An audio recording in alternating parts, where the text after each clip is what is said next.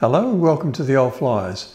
The Telegraph of London newspaper recently published an article entitled How a Soviet Mole Stole the Concorde Plans. In June 1969, Russia's Tupolev Tu-144 became the first passenger aircraft to go supersonic, four months before Concorde did so. This was startling as the Soviets had begun work on the Tupolev in July 1963, seven months later than the November 1962 start on the Concorde. Strange, yet stranger still, the Tupolev's design was eerily similar to that of Concorde. Could the Soviets have had help to shorten their research and design process? At Filton Airfield near Bristol, there were hundreds of people working on the Concorde project. Was there a mole amongst them? Here is an interview with John Britton, Chief Design Engineer for the Concorde project, discussing Concorde's design and Russian competition. But as John recounts, the technical heart of Concorde, the innovation that made it work, was the jet engine air intake. To safely operate the jet engines, the approaching air had to be slowed down from supersonic to subsonic before it reached the first compressor stage of the engine. To achieve this, Concorde's engineers devised a clever system of inducing shock waves in the air intake using a series of movable ramps. The thing that makes this aeroplane work and stop the Russians' aircraft working was the air intake, the power plant, the integrated power plant, which is the absolute heart of the aeroplane you have got to have an intake uh, system that allows the air to be slowed down from supersonic air to subsonic air at the engine face. And the only way you can do that is with shock waves. Mm-hmm. And uh, I'll just show you these. This, this is a way of, of tying it all up, rounding up, because and is that because you don't want basically supersonic air to flow into your compressor and then further on into your into your combustion chamber? You need the air to be subsonic for at the engine face? At the engine face. Yes, okay. and um, that is the key to Concorde's success. A lot of military aircraft go supersonic, but um, only for short periods. Mm-hmm. They do a quick blast, take off them up, shoot the enemy down, turn around and come back. Mm-hmm. For, for the Concorde to be successful, it had to be able to cruise for three hours economically. And what we achieved was super cruise. At supersonic cruise, a large amount of the thrust is being generated by the intake. The intake has two moving ramps. When you start off, the engine needs the most air it can get. But so those ramps are basically open. They're right up. And so, so the cross-sectional area is at a maximum. yes, yes. And you're taking auxiliary air in through an auxiliary inlet. Through the bottom. Uh, through the yeah. bottom, right, that's in takeoff. In supersonic cruise, the ramps, as you go transonic and accelerate, the ramps gradually schedule down constricting the airflow. Right, producing the con-di nozzle, right? And in, what it does, you generate a shock wave off the bottom lip, which reflects between the, the, the bottom of the intake and the ramps, right? And that shock produces a pressure changes it goes through. You know, PV PV yeah. is a constant. Yeah. So across so, the pressure, across the shock wave, the pressure increases. Yes. And the density does as well. Yeah. So so at the engine face, you've got higher pressure, but you've got lower speed. Mm-hmm. Right. PV is constant. Yeah. So pressure goes up, velocity, velocity goes down. So at the engine face, you've got air which is going in at less than 500 miles an hour. Right. Now, the Russians copied. We believe that I shouldn't say this, but there's a lot of industrial espionage going on, mm-hmm. and they copied a lot of the structure stuff. But what they couldn't copy was the intake. I was part of a team. Ted Talbot, who was our boss, he had 40 engineers working on the intake design.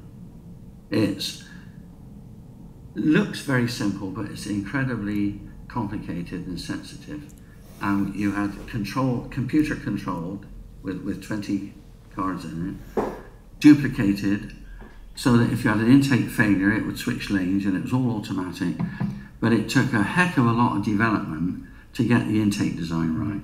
And if you don't get the intake design right, the airplane don't work. Mm-hmm. And that was why the TU-144 only ever flew mailbags around subsonically. Yeah, it never it never flew passengers supersonically anywhere. Mm-hmm. So why is Concorde no longer flying today? That's a very complicated question, but it's probably a combination of the aftershock of 9/11, noise pollution which forbade Concorde to fly supersonic over continental landmasses poor economies of scale of the small 16 aircraft fleet, and the high maintenance costs and technical updates that were required to keep Concorde operating safely. Uh, a lot of people say it was the it was the Paris crash, but it wasn't the Paris crash that, that stopped it because uh, we found out what the problem was. Uh, the, the cause of crash, mm-hmm. and we put modifications in place, and um, the aircraft returned to service. But it was going to return to service uh, the crash was in July 2000, mm-hmm. and it was going to return to service in on 9/11, 2001. Mm-hmm. On the very day. On the very day. On the very day it was oh, wow. due to go back into service. Mm-hmm. That the terrorists flew the, the aircraft into the Twin Towers. Yeah. Right? Concorde was a joint enterprise between Britain and France while John Britton and his colleagues were working on prototype 002 in the 1960s, his counterparts at Aerospatiale in Toulouse were dealing with 001. All the while, there was the Cold War tension between the Western and Eastern blocs and the space race competition. You can imagine that Concorde's engineers were flabbergasted to hear news of the Tupolev's flight. The design similarities to Concorde appeared to confirm suspicions that the blueprints might have been leaked by espionage. In the late 1990s, it was revealed that an aeronautical engineer, codenamed Agent Ace, was the spy. Recruited in 1967 by the Soviets, he allegedly handed over to the KGB some 90,000 pages of detailed technical specifications on the Concorde, the Rolls-Royce Snecma Olympus 593 engine, the Super VC-10 and Lockheed L1011. Agent ACE was Ivor James Gregory, as revealed by former KGB officer Vasili Mitrokhin. Historian Calder Walton, author of Spies, the Epic Intelligent War Between East and West, said, There's nothing to suggest he was an ideologically committed communist. I think it's more likely that it was the money. All we know is that he was an extraordinarily productive agent. Jonathan Glancey, author of Concorde, The Rise and Fall of the Supersonic Airliner, said Concorde was an extremely political aircraft. The Soviets had to hurry under extreme pressure from their government. The engineers only had a few years to get theirs in the air. But of course, if they had all the information that was needed to make the Concorde, they wouldn't have made an aeroplane that was ultimately a failure. End of quote. Dateline disaster. The 1973 Paris Air Show. The Soviets planned to unveil an updated version of the Tu-144 on June 3, 1973, at the Paris Air Show. The Soviet plane was to go head to head at the show against a prototype by Concorde. At the time, the Concorde had still not gone into production. Tu-144 test pilot Mikhail Kozlov apparently taunted the Concorde team by saying, quote, Just wait until you see us fly. Then you'll see something. The Soviet crew was intent on surpassing Concorde's flying display from the day before, which had been somewhat cautious. The Tu-144 had taken off from Le Bourget Airport and approached the runway as if to make a landing, with its nose dropped and its undercarriage down. The landing gear was out, and the canards clearly extended. But something was off.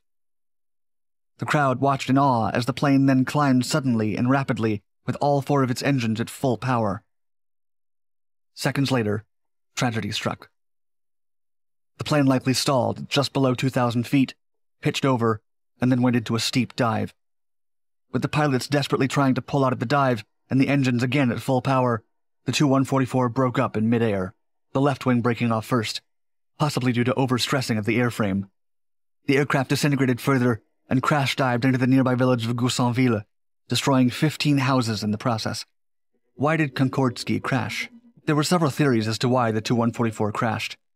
One theory was that the pilot had maneuvered too hard at slow speed, causing the plane to lose lift and thus stall. Another theory was that in the heat of their extreme rivalry with the Anglo French Concorde, the Soviet pilots had attempted a maneuver that was beyond the aircraft's capabilities, and the Concorde's Anglo French design team had deliberately passed on flawed blueprints of their plane because they believed the Soviets would try to steal them. The Tupolev Tu 144, nicknamed Concordski by Western journalists, really was a failure. Though it got airborne first, its performance was unreliable, its range short, and its supersonic capabilities limited. There were seven years between Concorde's first flight in 1969 and its entering service in 1976, with almost 5,000 hours of testing. It is probably the most tested aircraft in history. The Tupolev 144, on the other hand, was hastily delivered and was scarcely finished. It ended in tragedy. This aircraft had two crashes, including one at the 1973 Paris Air Show. John Britton said, the one thing they didn't copy was the air intake control system, which was the heart of the aeroplane and the thing that made it work. Jet engines will only operate subsonically. They won't accept supersonic air, so what you need as the aircraft accelerates and goes supersonic is to have to slow the air down at the front of the engine. We would do that with the intake control system, which continually adjusts as the aircraft gets to Mach 2. The system designed by the British and French engineers for this crucial process was, in many ways, the secret to Concorde. The fatal crash of Air France Flight 4590 after taking off from Charles de Gaulle Airport in the year 2000, which killed 109 people on board and four on the ground, ended Concorde's working life. Concorde could not have economically survived the September 11, 2001 Twin Towers disaster, as a third of Concorde's frequent flyers were killed on that day. These were the financiers who regularly commuted between New York and London. Today, industrial espionage is alive and well. Why invent the wheel when you can pinch someone else's design? Only these days, it isn't necessary to photocopy or photograph plans or smuggle paper out of factories. All you need is the internet and clever hackers. Thank you for watching. Comments always welcome. Please like and subscribe to promote new content.